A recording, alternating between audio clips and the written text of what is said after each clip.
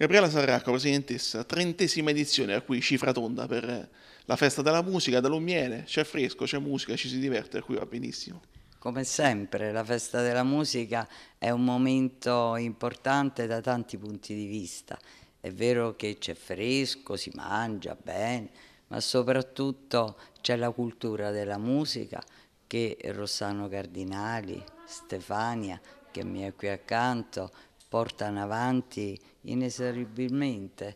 Eh, tantissime sono le iniziative che si fanno da Lumiere legate strettamente alla musica e sono per il territorio eh, un vanto perché è un territorio nostro ricco di eventi in estate.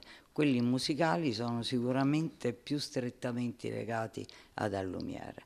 La fondazione li segue da anni e continuerà a seguire sempre in modo sicuramente migliore di quello che può essere oggi. 30 anni sono importanti e andremo avanti. Io spero di festeggiare con Rossano i 50 anni.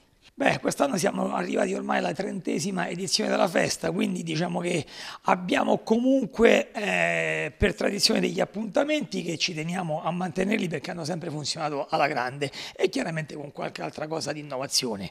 Apriremo venerdì pomeriggio con la sfilata della banda di Monterosi. Per i pomeriggi abbiamo cercato tre cose, anche se sempre a livello bandistico, però un po' alternative.